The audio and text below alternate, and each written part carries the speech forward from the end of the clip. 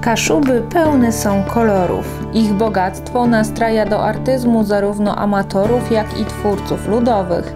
Dziedziną sztuki, która niewątpliwie najpiękniej wykorzystuje paletę barw tutejszego krajobrazu, jest haft. Tradycyjny haft kaszubski jest siedmiobarwny. Kolor habrowy symbolizuje piękne kaszubskie jeziora. W granatowym ukryta jest głębia wód Bałtyku. Niebieski to odzwierciedlenie błękitu tutejszego nieba. Żółty to słońce i łany zboża dojrzewające na kaszubskich polach. Zielony to barwa tutejszych lasów pełnych zwierza. Czarny to ziemia na polu czekająca na zasiew, zaś czerwony jest przenośnią krwi, którą każdy kaszub gotów jest przelać w obronie swej ojczyzny. Za prekursorki tej sztuki na Kaszubach uznaje się żukowskie siostry Norbertanki, które zapoczątkowały ją około 1209 roku. Ich haft nie był tak kolorowy i bogaty w motywy jak współcześnie, bowiem odzwierciedlał skromność życia klasztornego. Haftem zajmowały się także cysterki z Żarnowca. Siostry obu zakonów, oprócz szat liturgicznych i paramentów kościelnych, haftowały głównie czepce. Złotogłowie kaszubskie wyszywane było w jednobarwnej kolorystyce złotej lub srebrnej. W 1906 roku we Wdzydzach Kiszewskich artystka Teodora Gulgowska zorganizowała pierwszy kurs haftu kaszubskiego. Ten moment uznaje się za datę powstania pierwszej ze współczesnych szkół haftu. Charakterystyczne, bogate wzornictwo Gulgowskiej zyskało uznanie w kraju i za granicą. Stało się także podwaliną przy powstawaniu kolejnych szkół, których obecnie na Pomorzu jest ponad 10.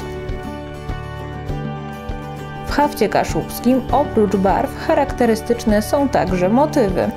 Wśród nich dominują głównie kwiaty, zwłaszcza takie, które spotkać można na polach i w ogrodach, czyli bratki, habry, niezapominajki, słoneczniki, dzwonki, koniczynki, margaretki i róże, a także owady, żuczki i pszczoły.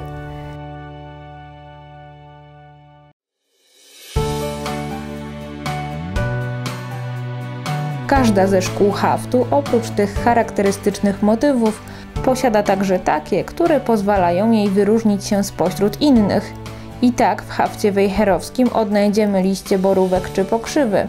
Dla szkoły borowiackiej charakterystyczne są zakręcone wąsy, a w hafcie szkoły puckiej wyróżniają się pięknie wyszywane sieci czy morskie fale.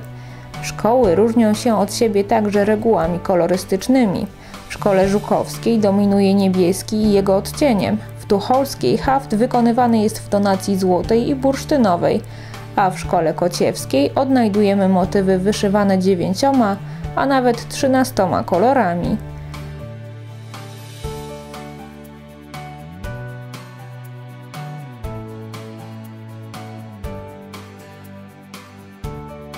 Haft to technika kompozycyjno-wzornicza przekazywana od pokoleń.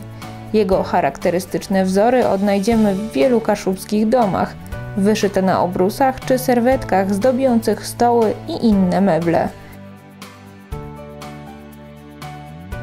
Takie dzieła to efekt nawet kilku miesięcy pracy hafciarek.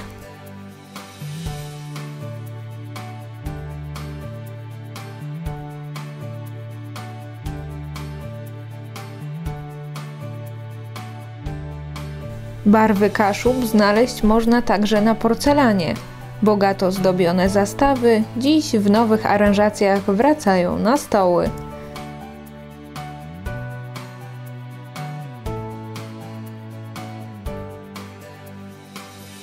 Kaszubski haft jest także bardzo modnym dodatkiem. Ludowi wytwórcy idą z duchem czasu, tworząc efektowne bransoletki czy suknie z delikatnymi wzorami, w których panie mniej lub bardziej celowo promują regionalny dorobek kulturowy.